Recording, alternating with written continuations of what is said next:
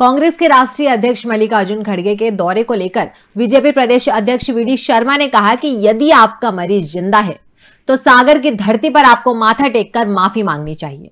क्योंकि कांग्रेस सरकार के समय में सागर में अनुसूचित जाति के भाई की ज़िंदा जलाकर हत्या कर दी गई थी। मुख्यमंत्री रहते कमलनाथ ने कोई कार्रवाई नहीं की थी। बीजेपी प्रदेश अध्यक्ष वी डी शर्मा ने कहा कि कांग्रेस अध्यक्ष मल्लिकार्जुन खड़गे आपके साथ जो पूर्व मुख्यमंत्री कमलनाथ बैठे थे, वो पंद्रह महीने इस प्रदेश के मुख्यमंत्री रहे। उनके कार्यकाल के समय अनुसूचित जाति वर्ग के भाई धन प्रसाद अहिरवार की ज़िंदा जलाकर हत्या कर दी गई थी, लेकिन कमलनाथ ने कोई कार्रवाई नहीं की थी। आपको सागर की धरती पर माफ़ी मांगनी चाहिए। प्रदेश अध्यक्ष वी डी शर्मा ने कहा कि मल्लिकार्जुन खड़गे अपने नेताओं से पूछिए कि जब दलित व्यक्ति को अल्पसंख्यक समुदाय का व्यक्ति मल खिलाता है, तब उसकी बोलती क्यों बंद हो जाती है? मध्य प्रदेश में कांग्रेस की सरकार का ये दोहरा चरित्र है। आपके साथ में जो पूर्व मुख्यमंत्री जो पंद्रह महीने की सरकार में इस मध्य प्रदेश के मुख्यमंत्री थे, जो मिस्टर भंटाधार के इशारे पर काम करते थे आज आप जिस सागर के अंदर गए हैं, उस समय उनके मुख्यमंत्रित्व के कार्यकाल में अनुसूचित जाति के हमारे भाई धन प्रसाद की ज़िंदा जला करके हत्या कर दी गई थी। लेकिन आपके बगल में बैठे श्रीमान करप्शन नाथ कमलनाथ जी ने उस पर किसी प्रकार की कोई कार्रवाई नहीं की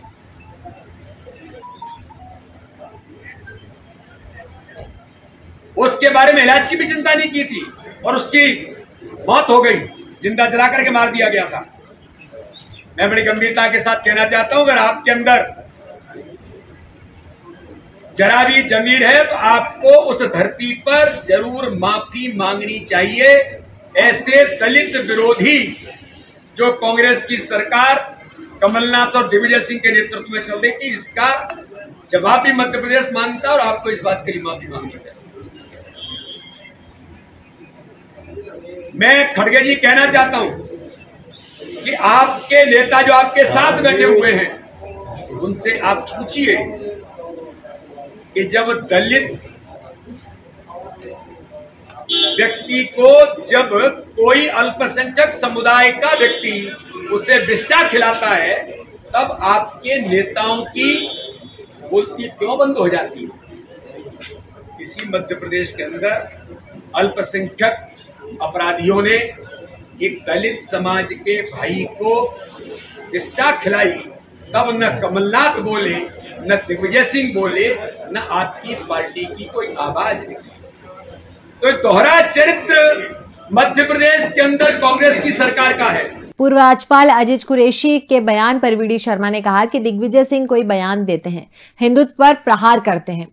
तब आपके लोग कुछ नहीं बोलते। अज़ीज़ कुरैशी ने जो कहा है, ये क्या है? अपना स्टैंड क्लियर कीजिए। कांग्रेस किस दिशा में है। किस प्रकार के दोहरे चरित्र की राजनीति मध्य प्रदेश में कांग्रेस करने का प्रयास कर रही है? वीडी शर्मा ने कहा कि आप मध्य प्रदेश में पहुँचे, लेकिन आपके पुत्र प्रियंक खड़गे हिंदी विरोधी हैं।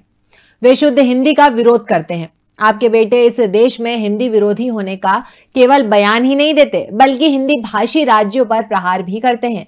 इसके लिए भी आपको माफ़ी मांगनी चाहिए। दिग्विजय सिंह कोई बयान देते हैं, हिंदुत्व पर प्रहार करते हैं।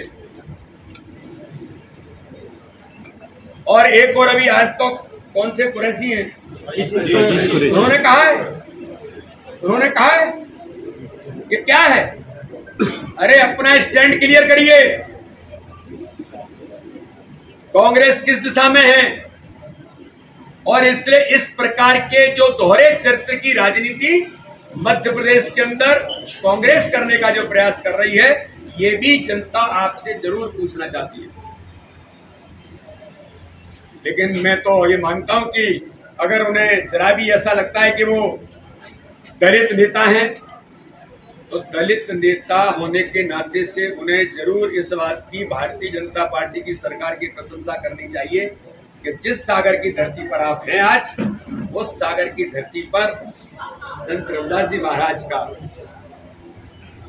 भव्य सौ करोड़ के मंदिर के निर्माण का भूमि पूजन माननीय प्रधानमंत्री जी करके गए आप प्रधानमंत्री जी को अगर आभार करेंगे तो शायद अच्छा होगा। और इस देश के अंदर आप यहाँ पर मध्य प्रदेश में पहुँचे हैं लेकिन आपके पुत्र प्रियंक खड़गे जी खड़गे जी कहते हैं, हिंदी विरोधी, शुद्ध हिंदी का विरोध करते हैं, उनको ज्वेलसी है। तो ये भी मध्य प्रदेश पूछना चाहता है।